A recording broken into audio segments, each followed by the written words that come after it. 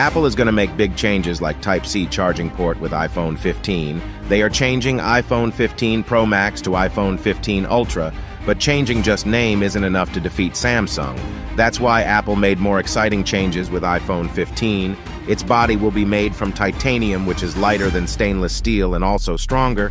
iPhone 15 Ultra will have A17 chip, which is the most powerful microprocessor ever. It'll have periscope lens which will provide camera-like detailed optical zoom. These new features will make iPhone 15 Ultra more expensive, and its launch event is on the 12th of September.